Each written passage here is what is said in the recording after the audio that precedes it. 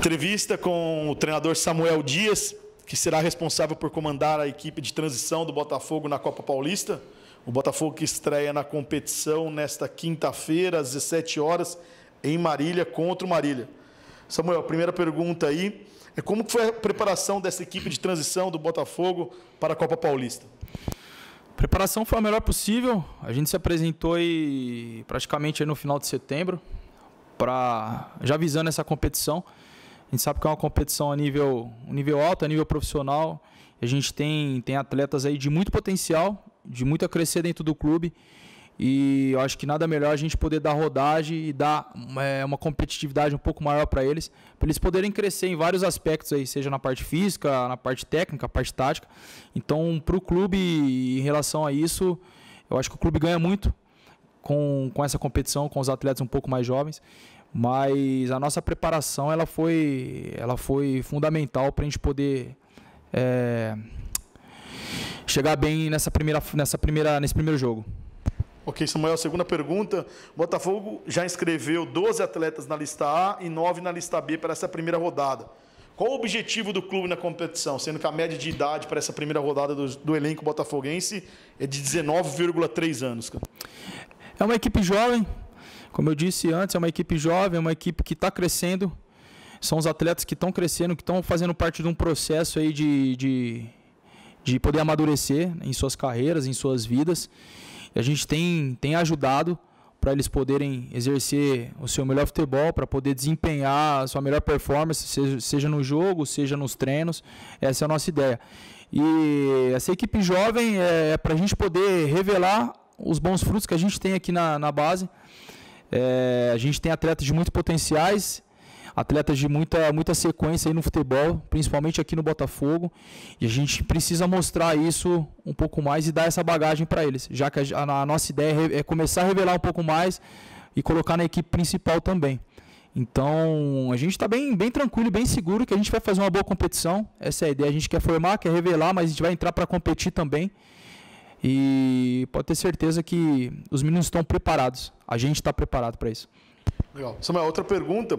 Como será essa competição também servirá para os meninos ganharem maturidade, ganharem também tempo de jogo, rodagem? É para isso também? Com certeza, eu costumo falar que a maturidade ela faz parte do processo, né, desses atletas jovens, porque eles estão alcançando um nível de, de competição um nível alto, onde eles não, onde eles não, não estavam acostumados a competir. Então, essa, essa maturidade faz parte do processo para eles poderem crescer ainda mais. E a gente confia, a gente passa toda a confiança e credibilidade para eles. Como eu disse, eu sempre vou frisar isso. A gente tem grande potencial aqui, aqui na, na categoria de base e a gente precisa fazer isso acontecer. A gente precisa fazer eles girarem. A gente precisa colocar um pouco mais de fruto, gerar mais frutos para o clube e para a equipe principal.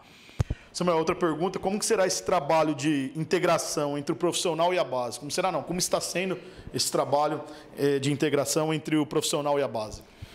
É, é algo que, que o clube já tinha perdido um pouco da essência, a gente conseguiu resgatar isso, o Cabreira tem feito um excelente trabalho em relação a isso, ele tem auxiliado tanto a equipe principal quanto a equipe de transição, e tem dado até um pouco mais de tranquilidade para os meninos de, de poder desempenhar o seu futebol, de poder ver a sua crescência no futebol, no clube.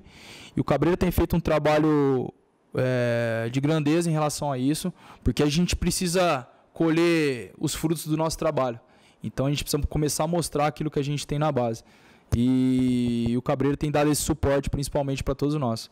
Samuel, qual será a metodologia de trabalho da equipe, da equipe de integração, da equipe de transição para a equipe profissional? Como será essa metodologia de trabalho?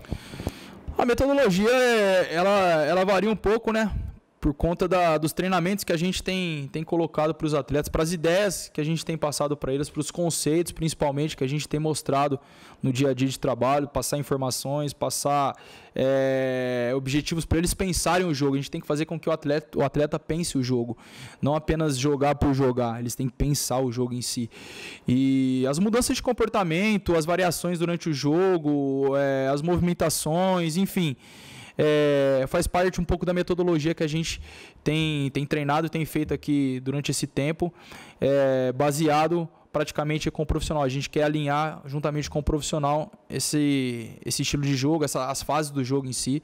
Então, para nós tem sido um desafio novo, mas um desafio de, de muita motivação.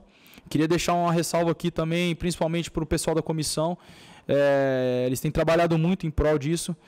É, a comissão é toda da base, toda formada da categoria de base, e a gente tem trabalhado muito para isso, isso.